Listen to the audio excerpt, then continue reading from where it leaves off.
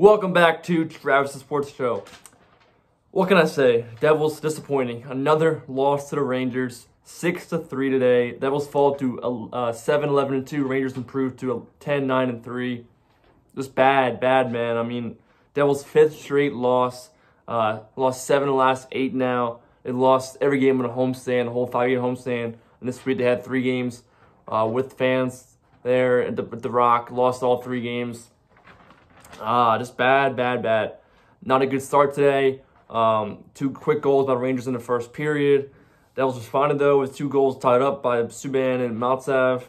Then Rangers got the next three goals, scored one late in the uh, first period, and then one the first minute of the second period, which happened uh, again last game against Rangers, but it scored in the first minute, third period.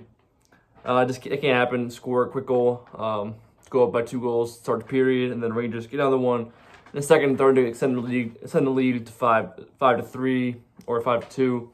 Devils get one real late, uh, make it five three, but a couple minutes left to pull the goalie. And that goal by Rangers, and they end up winning six three. It's uh, just terrible. I mean, again, the way they started the season, and then now what it's been up to, five straight losses and seven of eight.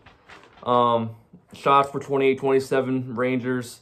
Um, Rangers outshot the Devils 14-5 in first period, so they only Devils only had five shots, two goals first period, but Rangers 14. Devils outshot them rest of the way, obviously, but um, just not enough. I didn't see this game live, but from what I'm was reading about and stuff, still defense not good. Uh, obviously, too many mistakes, turnovers, uh, passes not crisp. Um, just guys just not executing again right way. Uh, Blackwood obviously probably struggled again in there.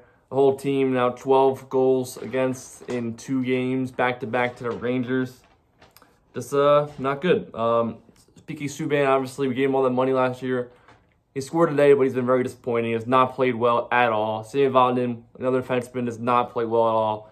A lot of key guys just have not stepped up for the Devils. Um, Power play today was 0 for 1. Rangers were 1 for 5. So not a, not a lot of chances. Obviously, only one chance power play for Devils. And they killed 4 out of 5 so special teams were solid, but uh, obviously you got to get more chances on the power play, and we get chances you got to convert. But um, final thoughts though, kind of just it's just uh, disappointing. Uh, obviously the way they started, now they kind of really faltered. But again, young team.